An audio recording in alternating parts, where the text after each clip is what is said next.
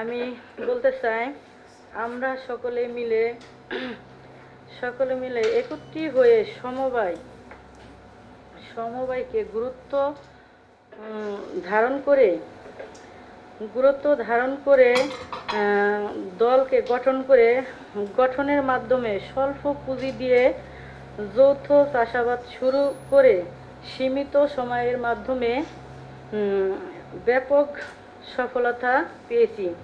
এই যৌথ চাষাবাদের মাধ্যমে আমাদের আর্থিক সফলতা এসেছে এবং সেই সাথে সামাজিক একটা অবস্থান তৈরি হয়েছে।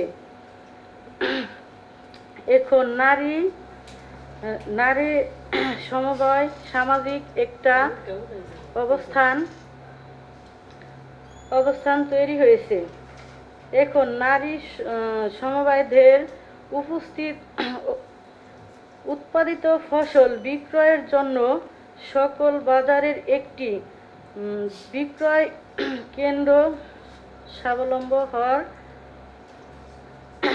স্বাবলম্বন হওয়ার আমরা আরও অনেক দূর যেতে পারব।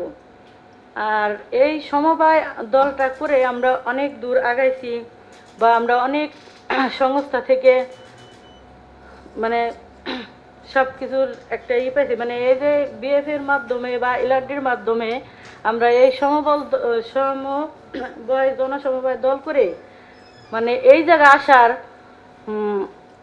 এই যে যে অধিকারটা পেয়েছি, এটাই অনেক আমাদের ভাগ্য।